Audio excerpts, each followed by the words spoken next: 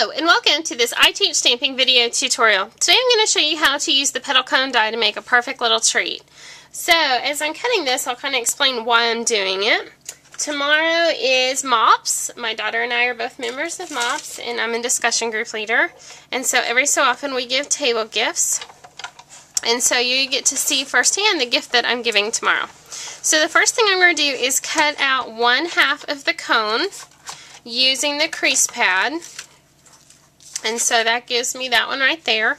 And then I'm going to cut a second. Now the cardstock size that you need is going to be five and a half by six and a quarter. Um, and so that way you're not wasting any any uh, any extra cardstock. So it's a good size to cut it down to before you run it through your big shot.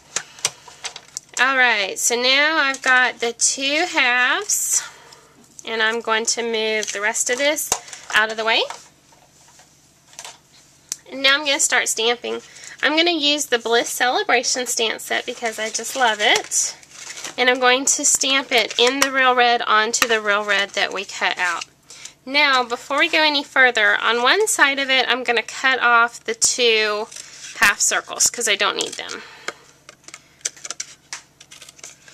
And so just quickly cut those off. And then this is going to be the front. So I'm going to stamp this all over the front there. Now my other piece is going to be the back. So when this is folded, that's going to be the front. And then this one here will fold like this to go together. So I need to stamp these two parts right here because that's going to show. And then because I don't want the back side to just be plain, because it takes like two seconds, I'm just going to stamp the back. So now to put this together, you will want to use your sticky strip. And so you find the end of it. There we go. And I'm just going to lay it onto that flap there.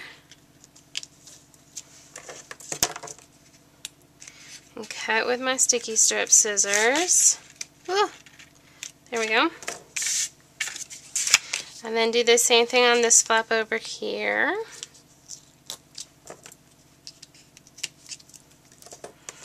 Okay, so this one was nice and started itself for me.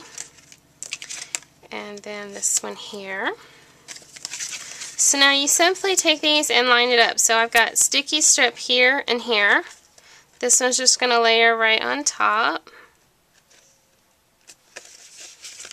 And then I'm going to fold it over to the other side.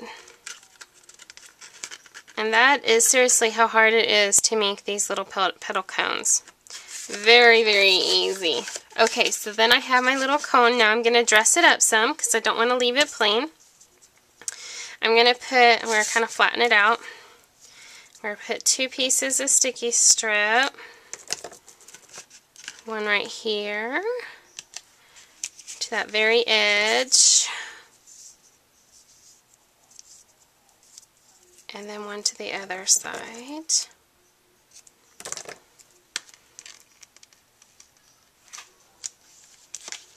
and it doesn't have to go all the way to the middle on each.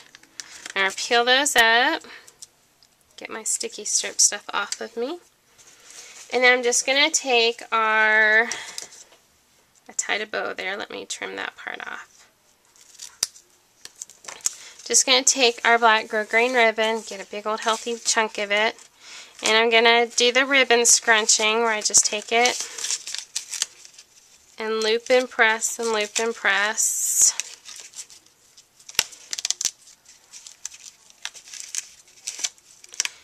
Going to go over that fold area and keep on going.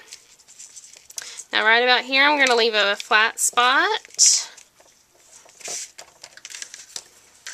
And then simply going to trim that with my ribbon. So I've got that cute little border at the top. Now I'm going to take one of the word, one of the phrases from God's Blessings and I'm simply going to stamp this on some white cardstock. Alright, so I'm going to stamp onto a piece of cardstock that is 2 by 2 and a quarter inches. I'm going to stamp this in real red ink. And then I decided to stamp that on the wrong side, so I thought that looked weird. Okay, so I'm going to stamp that in real red ink onto that Whisper White. And then take some snail. And using that extra red cardstock that I cut off earlier that I didn't need from the petal cone, that's going to give me my perfect little border. Now I'm going to take a dimensional and it's going to go in the upper left hand corner. Kind of stick that right on there. And then for my ribbon, I'm going to use the mini glue dot. Just take that bow and stick that right there where that flat spot was. That gives me a good place to, um, to adhere my ribbon. And then I got these cute little candies and they'll just tuck right in there. And then I've got a cute little gift for everybody at my table. So I hope you've enjoyed this I Teach Stamping video tutorial where you got to learn what I'm making for MOPS this week. Have a great day.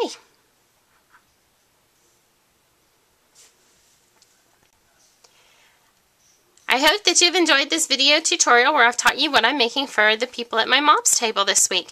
Remember, you can learn more at iteachstamping.com.